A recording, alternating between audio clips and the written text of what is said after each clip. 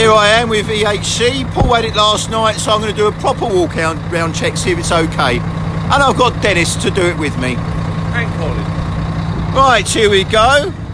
Yes, better check the old tyres. What do you reckon on this, Dennis?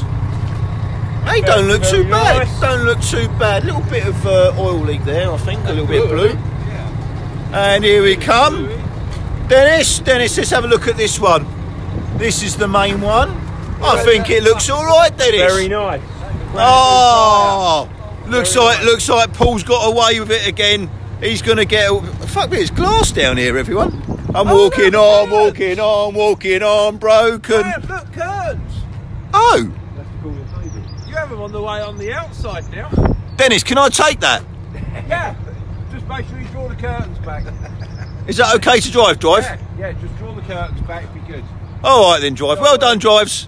Do you want to, uh, Off I go. Bit drafty, but lovely aircon. nice.